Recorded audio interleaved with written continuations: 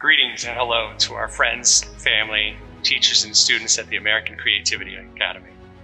This time of year, we try to look back at all that we've accomplished this year. Since the beginning of the school year, but even further over the last four or five years, ACA has been on a journey, a journey of learning. And we realize that learning is not just about learning math and science, while that's very important. Specifically, this last year, we've learned a lot about giving each other a learning about hope, a learning about resiliency and tenacity. I can look at all of our staff today and know that they have accomplished a great deal during the last nine months.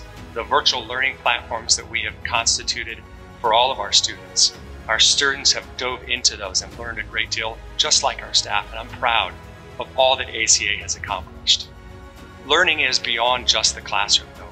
We learn to bring hope to our families and our community. Over the last few years, we have instituted our, positive behavior intervention and supports. Our PBIS programs are a vision of ACA's values, being responsible, being respectful, being safe, and making sure that all of us are learners. Quite frankly, we've learned how to be better communicators through this process. And it's not just about communicating inside ACA, but it's also communicating from our staff to our parents, our staff to one another, the level of communication in ACA and our social media and our videos and all of our platforms that we communicate with have gone uh, immeasurably more than what we could have ever imagined. I am proud of our staff for learning to communicate at a higher level and thank you to all of our parents that have tackled virtual learning with us. Our goal isn't to improve our learning for all of our students. The level of rigor, creativity, and problem solving for all of our students is important.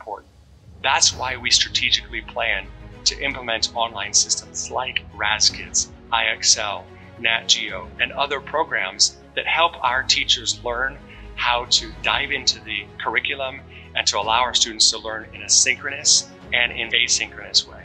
I'm proud of our families for tackling virtual learning. And over the next few years, as we begin to look forward, whether it's virtual learning or whether it's live and in-person learning, we will be a stronger organization for the efforts that we've made this year into virtual learning.